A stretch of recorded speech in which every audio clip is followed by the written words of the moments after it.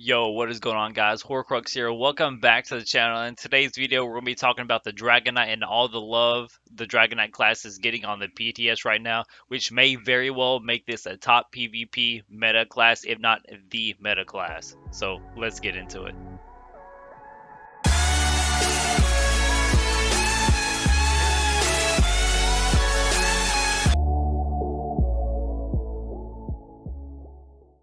Welcome back guys and before we get into the bread and butter of today's video a huge shout out to my patrons. You guys are absolutely amazing. This channel would not be possible without you guys. Also I'm doing a PvP top 5 series still yet so I need more clips guys.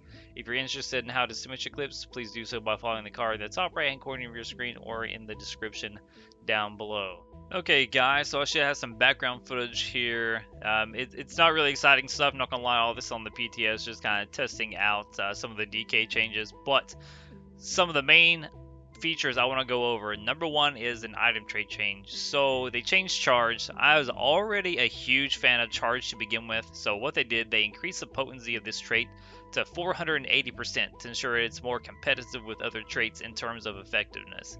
Now, Charge has always been like a niche trait just for the DK for your sustain, so the whole purpose of running a charge is so you can inflict people with status effects, okay? So when you inflict people with status effects based on the combustion pass that we have here, you actually get resources back. So not only did they double the effectiveness of this, I'll kind of go over, you know, what percentage this actually is here, here in just a moment. Not only did they buff charge, but they also buff combustion. Now, a lot of people say this is kind of a nerf slash buff, but this is just straight up a nerf, guys. So here's what the new combustion passive does. It increases the resource granted from this passive to 1,000 for Magicka, uh, to Magicka and Stamina instead of just 500. So they essentially doubled it, but they added a half a second cooldown to which you could actually proc this. So before there was no internal cooldown, and as many times as you could proc the burning or a poison effect, you would get resources back. Now they did kind of put like a soft cap on that, but the half a second is like nothing, guys. And the set combinations I'm going to show you in just a moment is pretty scary stuff. I'm not going to lie. So this is just a straight up hard buff for the DK. Okay. I mean, th this is absolutely massive. I did do a whole spreadsheet on this at a video at some point uh, in the past, uh, which showed you guys the difference between having a normal charge straight and not having a charge straight.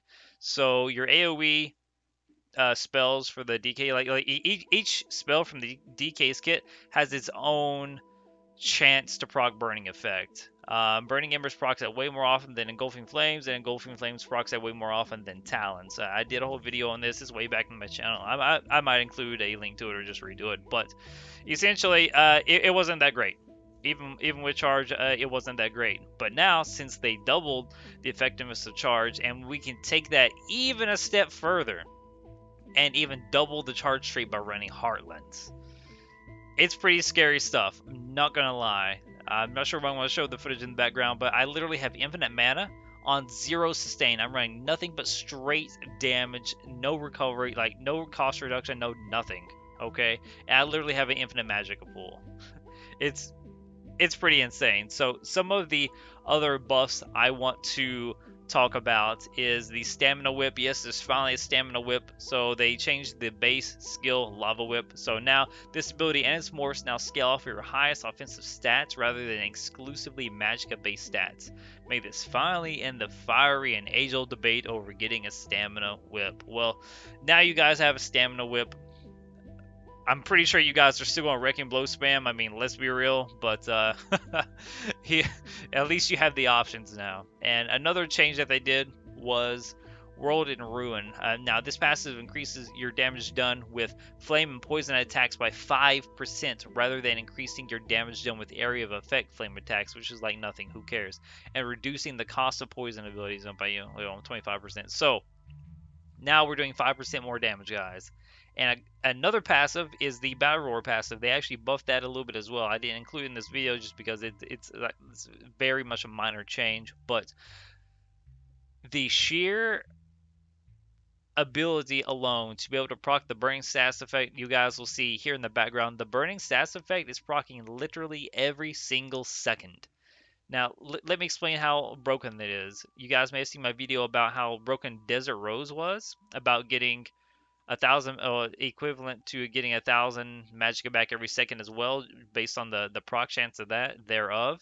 This does the exact same thing. So if you run heartlands with a charge trait you are essentially getting desert rose five piece as an effect every single time you apply burning effect. And, and this is actually better than desert rose. It has the potential to be double as effective as desert rose because you can apply the burning stats effect every half second, which is going to restore 1,000 of your resources. So potentially you could apply it twice within a second, which will give you 2,000 of each resource.